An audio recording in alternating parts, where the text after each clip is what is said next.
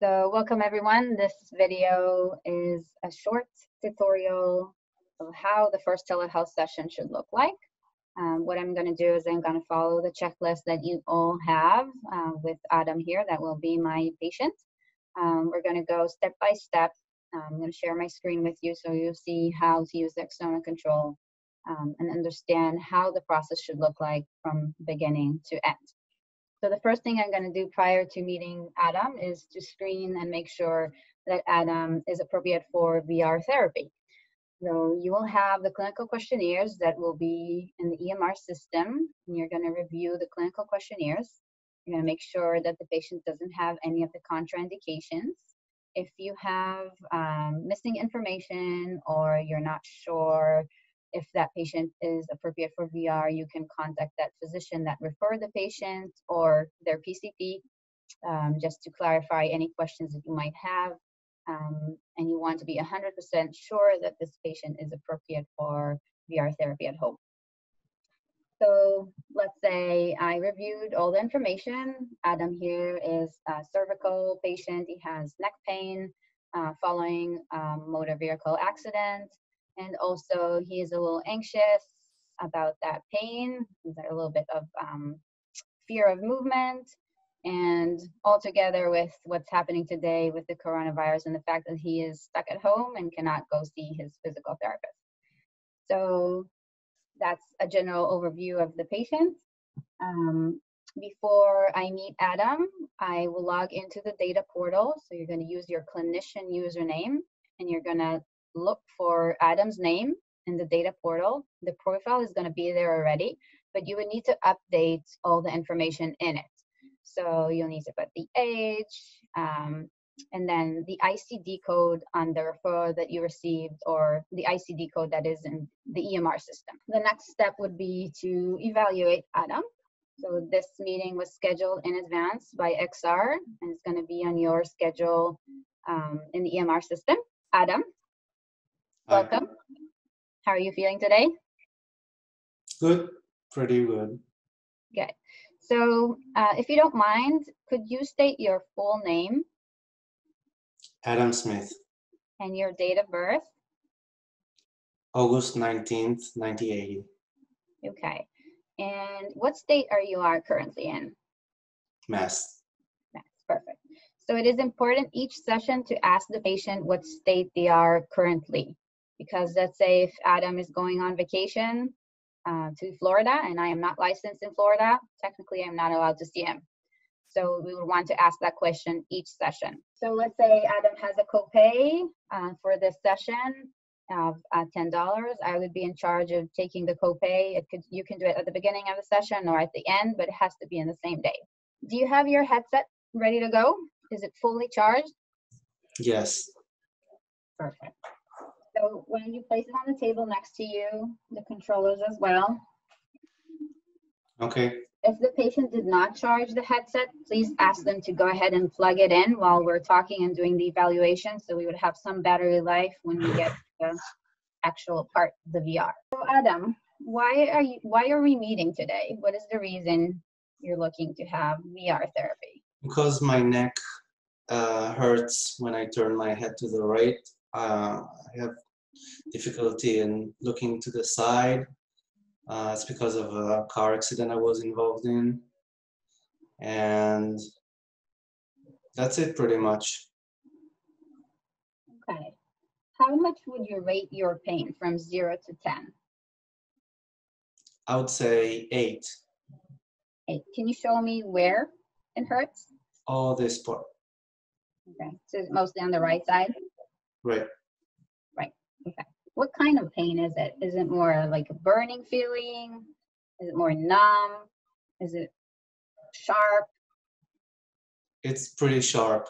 It's like my whole muscle just got stiffed. I can't move it at all. Does the pain wake you up at night? No. No. Perfect. Um, is there a difference in the pattern during the day? Is the pain worse in the morning, in the evening? Evening for sure. Evening. Okay. And how long did you have this? Do you have this pain? Three weeks. Three weeks. Okay. Um, what makes your pain worse? Is there like a specific movement that you do?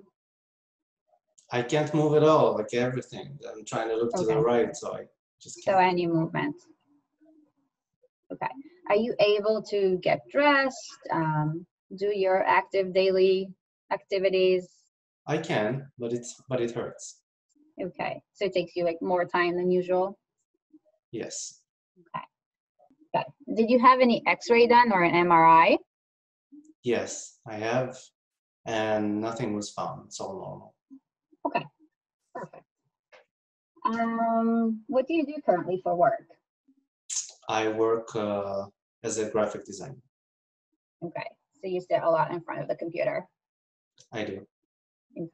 So do you feel like it's interrupting your work? Like how long are you able to sit in front of the computer until the pain is there? Um, I can sit for a few hours.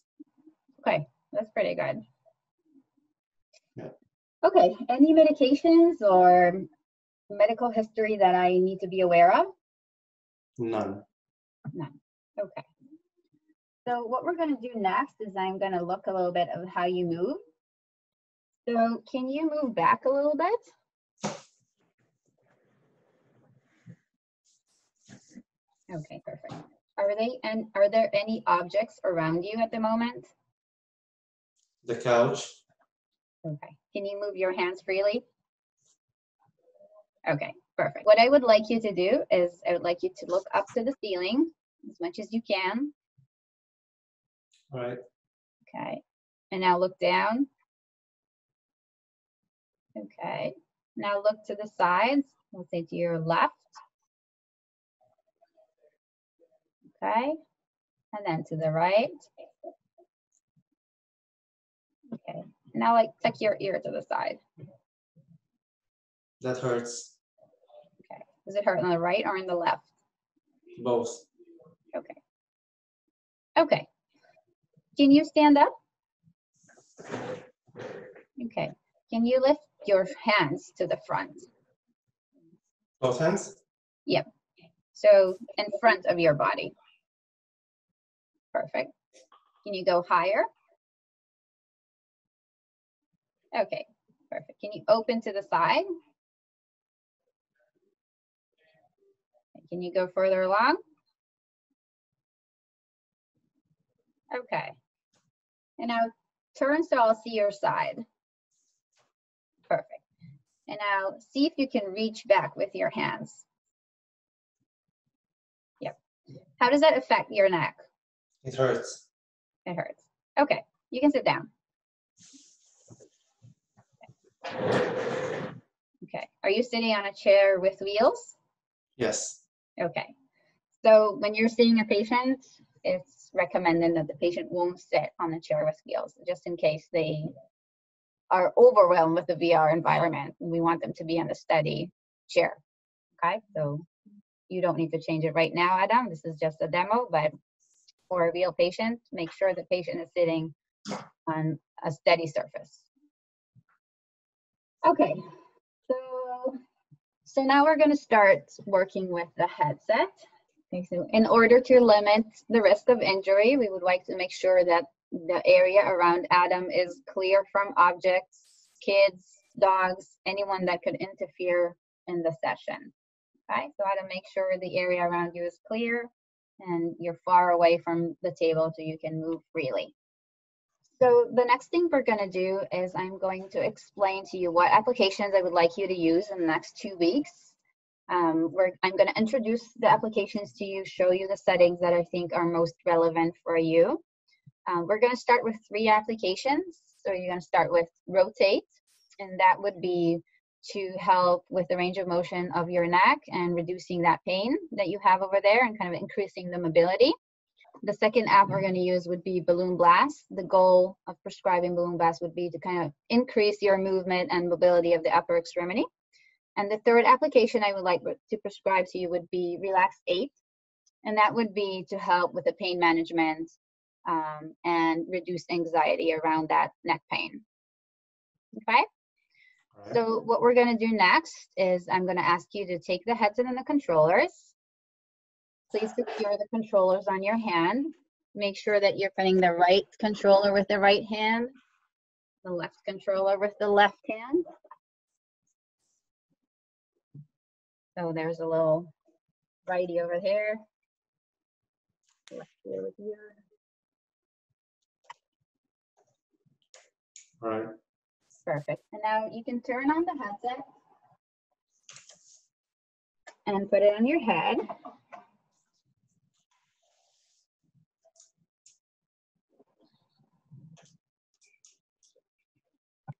Okay. So can you tell me what screen are you seeing right now? I see the main screen with a menu that says sign in or pair new external device. The next thing we're going to do is we're going to pair the external device with Adam's headset. So I'm going to click here on add new headset. And Adam, can you please click on pair a new external device? You're going to see a code. When you're ready, can you read it to me? Yes, 129 100. And I'm going to name the headset with the patient initials. So let's say Adam Smith, and I'm going to put um, one, two, three, four for this demonstration. This username you would need to document in the EMR system as well. So next time Adam and I will meet, it will automatically pop up and I will know that AS123 is Adam. Okay, so we are paired. Now the headset is here on the left. I'm going to click on the headset and my patient list here is going to open and here is Adam Smith. Okay. Now this is the main menu of the control panel. We have a control headset mode, a mirror mode, switch patient, or log out patient. Now, when I click on control headset, I have full control of the patient's experience. So Adam cannot navigate in between the applications. I am in control of all the applications and the settings um, that Adam is going to see. If I click on mirror headset at this stage, I am able to monitor Adam. So I can see what Adam is seeing and I can guide him what application to pick and what settings to pick. So it's kind of like monitoring live. So we're going to start with control headsets. And I'm going to introduce the applications that I would like Adam to do. So the idea is I'm going to select the settings that I'm interested in doing. So I'm going to start with a range of motion test and training. I'm going to select the one minute for this session. Music doesn't really matter. Adam, can you lower the volume of the headset with your right hand to the minimum? So keep it so you can hear it, but it won't be too loud. And I'm gonna pick um, a small training area for Adam at the beginning and see how he's feeling. The whole idea of trialing the settings um, at this session is to see how Adam is performing. So maybe the settings I selected are not so good and I'm not really achieving my goal with the patient and maybe I need to change it and do a median, right? So let's see how Adam is doing. Okay, so Adam's gonna do a range of motion test and I can mirror in the meantime and see what stage he is in. So the whole idea is I'm gonna watch Adam here and see how he's performing and if he's compensating or just performing a pure movement of the neck.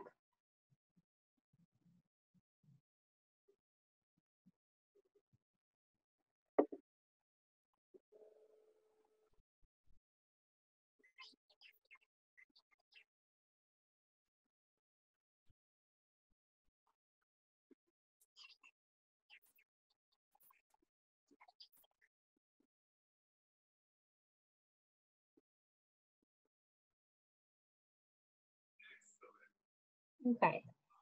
And now, Adam, you're going to have a short session with the settings I think are most relevant for you. Let me know if you feel that it's too much, there's too much pain, or you feel comfortable with it.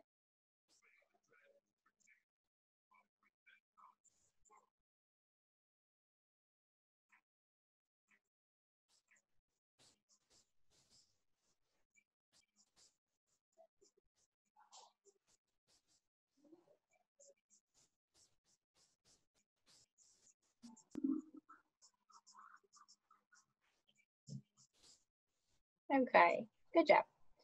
How are you feeling? There was one turn to the right. I think the first or the second that that hurt more, but the other, the rest of the movement were okay. Okay, okay. So I think I'm gonna keep those settings. So I'm gonna write everything down on the checklist.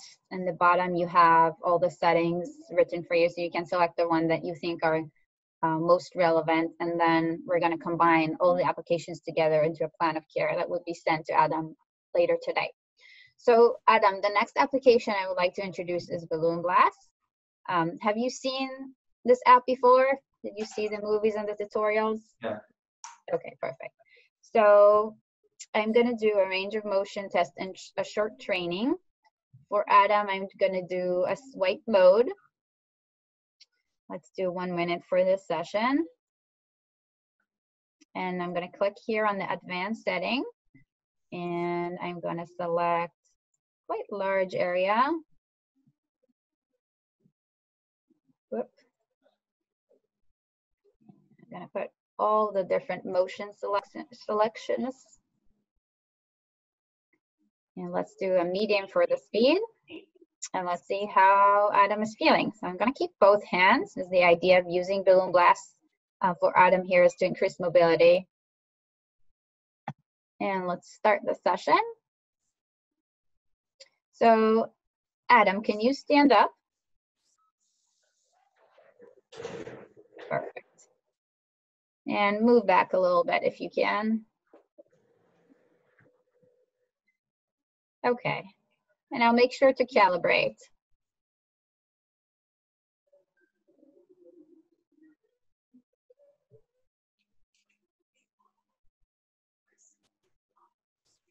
Okay, perfect. So you're going to have a range of motion test.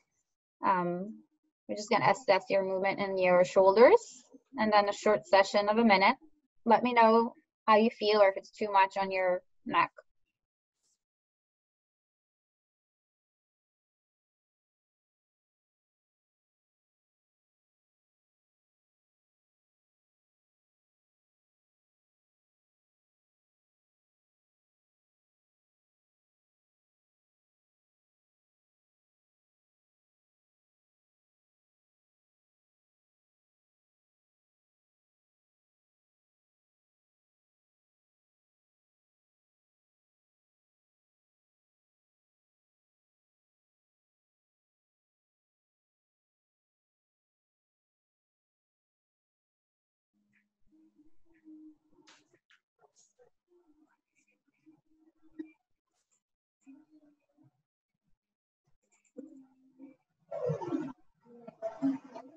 Okay, so try and pop the balloons in a swiping mode, kind of from up to top. Perfect. When I use my right, my right arm, then it hurts. It hurts. Okay, so in that case, I'm going to go back and adjust the settings. So I'm going to set the grid to be a little smaller so it won't aggravate, aggravate that pain. And then when we reassess in two weeks, I, we could go back to the full grid again and see how Adam is feeling.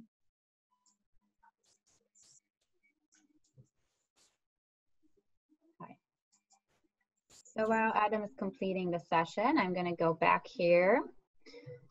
And the next application I'm going to show is Relax. And we're going to do the meditate. So we're just going to introduce this to Adam. The idea would be to end the session with a relaxed session. Adam, when you're done, you can sit down on the chair. Just make sure to pick up the headset and see where you're sitting.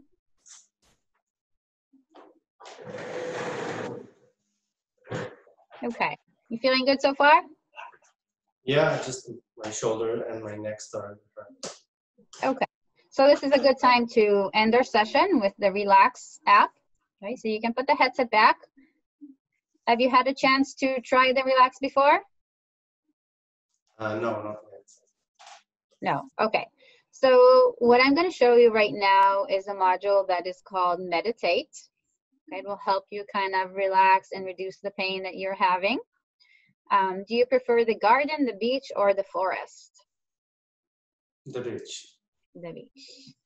Okay, so I'm gonna send you to a tutorial that will give you a short explanation about the app. The idea would be for you to finish each day with a five minute meditation session, okay?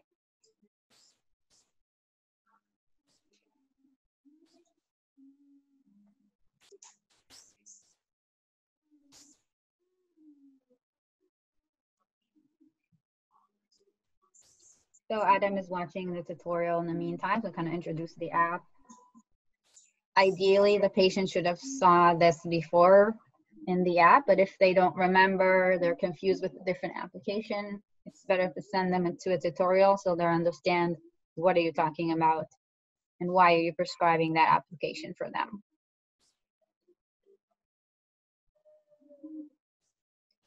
So let's say Adam finished to watch the tutorial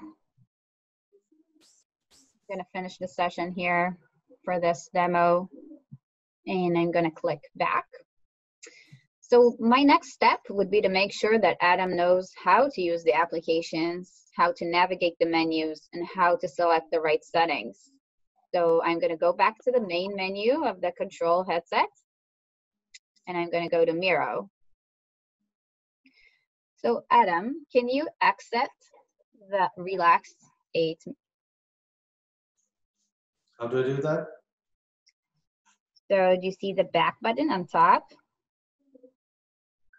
Yep, yeah. and there's a little door on top on the left. Yeah. Perfect.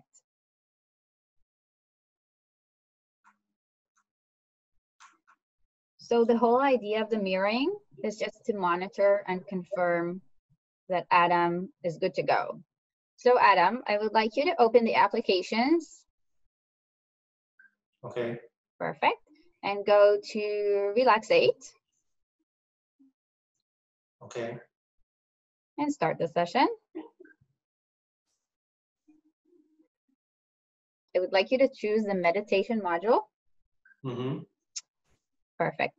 And then I want you to click on the five minute session and you can select whatever settings you prefer. If you want the forest, if you want the beach, what kind of music you would like.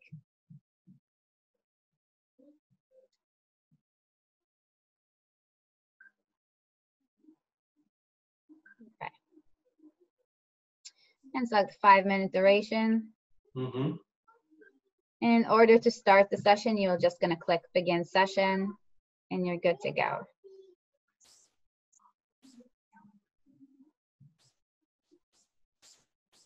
Perfect. So you can see that Adam feels pretty comfortable with navigating between the applications and the settings. So Adam, you can exit the app so if you click on the left controller, mm. it'll give you an option to exit.